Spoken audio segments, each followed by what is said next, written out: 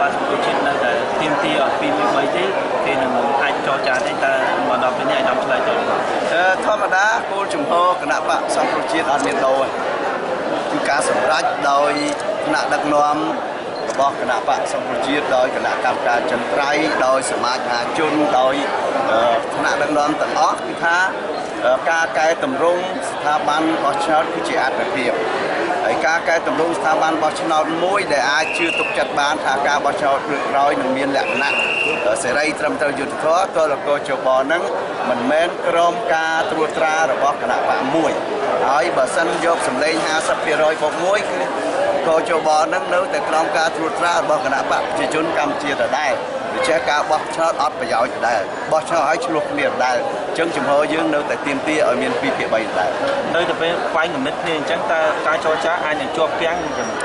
ខ្ញុំជឿថាកាលណាប្រើពាក្យចរចាគេនឹងរកកន្លែងមួយដែលកដាល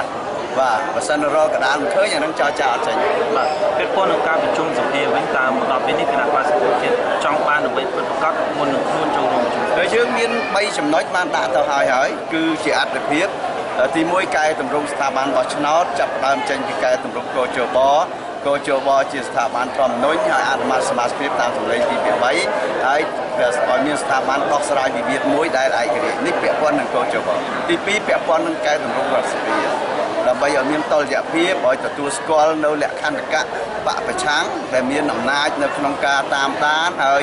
ឲ្យបកប្រឆាំងនឹងមានលទ្ធភាពបំពេញការងារដូចជាមានជារដ្ឋាភិបាលសមោលជាដើមដែលតាមស្របច្បាប់ដូចនៅប្រទេសដែលកាន់របបសភានិយមផ្សេងផ្សេងទៀតនៅក្នុងពិភពលោកហើយទី3យើងទាមទារឲ្យមានការបើកទូលាយនៅប្រព័ន្ធផ្សព្វផ្សាយទីផ្សារវិទ្យុទូទស្សន៍ មិនមែនសំដៅទៅសុំតែ license សម្រាប់គណៈបកសង្គ្រោះជាតិទេគឺសម្រាប់ទាំងអស់គ្នាឲ្យមានការទលំទលាជាពិសេសយើងចង់ប្រើប្រាស់ស្ថាវិទ្យុទូទស្សន៍ជាតិនេះជារបស់ទាំងអស់គ្នាមិនមែនរបស់គណៈបកប្រជាជនមួយទេគឺទាំងអស់គ្នាសហអង្គការសង្គមស៊ីវិលមហាជនផ្សេងៗអាចប្រើប្រាស់ឬក៏គណៈបកផ្សេងៗប្រើប្រាស់